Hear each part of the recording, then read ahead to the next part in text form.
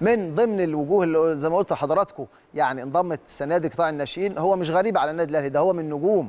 النادي الأهلي النجوم ال- الكبار. كان في سنوات قبل كده في قطاع الناشئين وهو انضم السنة دي ومكسب كبير وعنده خبرات كبيرة. هو الكابتن ياسر ريان. نشوف التقرير ده مع الكابتن ياسر ريان ونرجع لحضراتكم مرة ثانية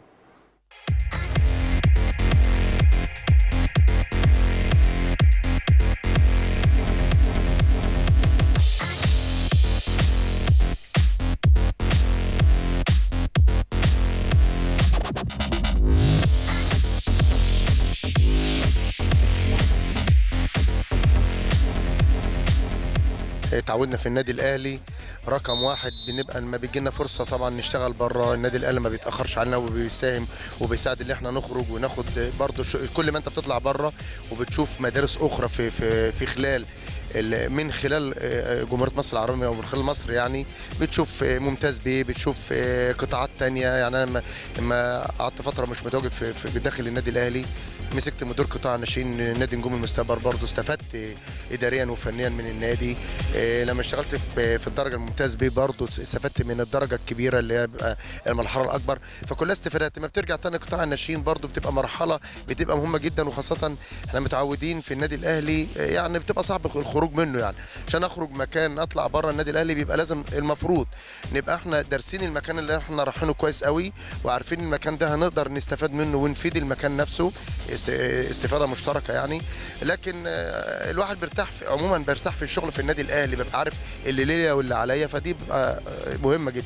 طالما انت دخلت جوه منظومة النادي الأهلي هتبقى لاعب مطلوب منك تجيب بطولة. عشان كده أنا كنت بقول أي لاعب يدخل النادي الأهلي صعب يتأقلم بسرعة اللي هو متعود في ناديه اللي هو ممكن ياخد مركز معين في الدوري متع- متعود يبقى بيصارع على الهبوط متعود اللي هو يبقى في المنافسة لكن مش متعود اللي هو ياخد بطولة. فمع النادي الأهلي أنت وأنت لاعب محتاج تاخد بطولة. دي بالنسبة للاعب. وأنت مدرب عندك أنت بت بت بت بت بت في نقطتين بيقابلوك. نقطة اللي انت. رقم واحد أنا بالنسبة لي أنا كاسر أنا بقول لك رقم واحد والحمد لله رقم واحد أنا بالنسبة لي اطلع لعيب درجة أولى يلعب للنادي الأهلي ليه؟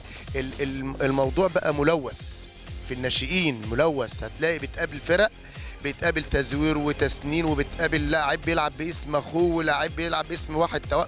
القصة مش كده لكن أنا في الحمد لله أنا أنا كان لي آه، آه، الحمد لله كبير إن أنا أعمل فرقة 2004 بعد كابتن حسام آه، كان موجود في قطاع الناشئين خدت منه الفرقة بعدها فمؤسس 2004 فأنا كان كل هدفي قعدت موسمين كاملين ما باخدش بطولة مع النادي الأهلي. بس كان هدف ان أنا أطلع لعيبة أنا مش محتاج آه ممكن تكون البطولة يقول لك اصل أنا ما خدش بطولة لكن في الأول وفي الآخر أنا بعمل جيل محترم الحمد لله. وفضل الله فرقة 2004 أعتقد اللي هي مسمعة بشكل كويس وإن شاء الله نتمنى إن شاء الله إن نكمل مسيرة الكابتن محمد سعد فيها اللي هو كان عمل معاهم برضو نتائج كويسة جدا. فإن شاء الله بإذن الله نكمل هذا المسيرة. فأنا. فأنا ده أساس. فأنت مع النادي الأهلي وأنت لاعب متعود على البطولة وانت مدرب متعود ان انت تطلع لعيب مش متعود تاخد بطولة. مصطفى شوبير أنا بقول لك مش عشان والده راجل صاحبنا وكابتننا من آه، من حراس المرمى الموهوبين. عندك احمد طارق حراس المرمى الموهوبين. شريف اكرامي طبعا عدى بفضل الله وكان من ال- الرموز وبرضه خد نفس الضغوط اللي, هو اللي كان بيقابلها.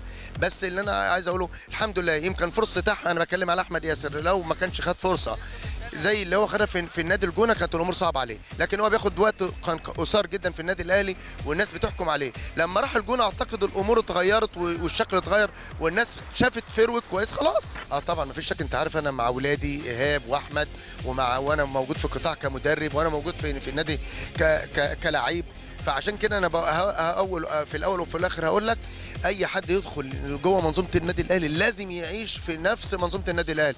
اللي هو أنا وأنا لعيب بموت نفسي عشان أعمل نفسي اسم. أو طلع عمر الله يرحمه كابتن صالح سليم يقول لك النادي الأهلي مش محتاج بطولات أنت اللي محتاج بطولات وده حقيقة. إما باجي أتكلم معاك باجي أقول لك أنا ياسر ريان لاعب النادي الأهلي ومعايا من رصيدي من البطولات قد كده ومعايا من الماتشات قد كده سواء مع بطولات إفريقية ولا عربية ولا محلية. ده إنتاجي. النادي الأهلي ده حاجة كبيرة جدا رمز كبير إحنا بنفتخر بيه اللي إحنا موجودين فيه.